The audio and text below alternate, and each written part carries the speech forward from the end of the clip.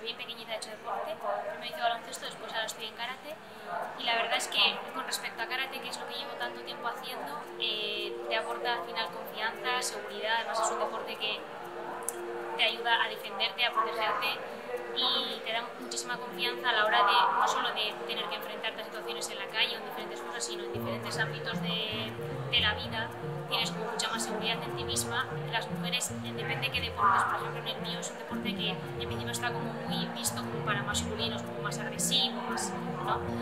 Pero en realidad somos muchísimas, cada vez somos más mujeres las que nos apuntamos a este tipo de cosas y es una forma de que también vean las que son más niñas o tal, que este tipo de deportes también es para nosotras, que no tienen que tener miedo de nada y que, y que al final les va a ayudar muchísimo a la hora de crecer y a la hora de, de, de seguir evolucionando en la vida. O sea, a mí el deporte me ha aportado un montón, tanto física como